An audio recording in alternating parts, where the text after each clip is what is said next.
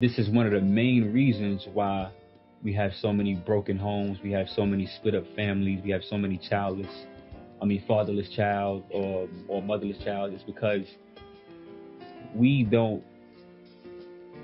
sit down and actually really communicate with our partner on a certain level so we can know know who we're dealing with. You know what I'm saying? We more focused on the physical. She's pretty. She got money. She got a degree, or he's this, that, and the third. He got a car, but nobody really is really sitting down diagnosing uh, the the the red flags. You know, the things that okay, wait a minute, this person might be dealing with something. This person might have some childhood trauma somewhere, and because we don't look for that in people, and because we don't talk about it, we wait two, three years later to actually communicate about this. That burns a hole in a relationship and then when you bring a child into that, you got two hurt people that have been traumatized. All an adult is to me is a child that been traumatized and grew up. The pain is still there. You get what I'm saying? So now you have two adults, mother and father, that have been traumatized, didn't properly heal from it, and now they have a child. So that child has to bear witness to that trauma as well. You get what I'm saying? Now, granted, you have your relationships where there's a male helping the female, and she's become better because he's in her life, or he become better because she's in his life.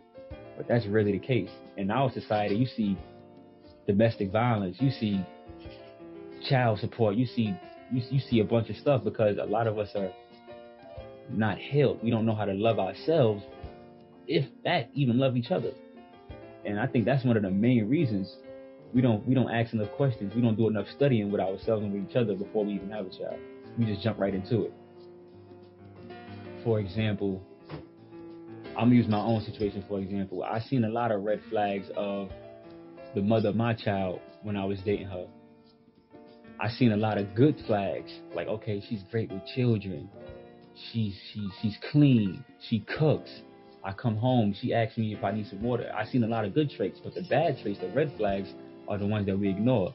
I seen that one, she didn't have a father growing up. That right there is a major red flag. That means somewhere on the line she doesn't know the respect level for a male, how to interact with a male because you know her father wasn't there.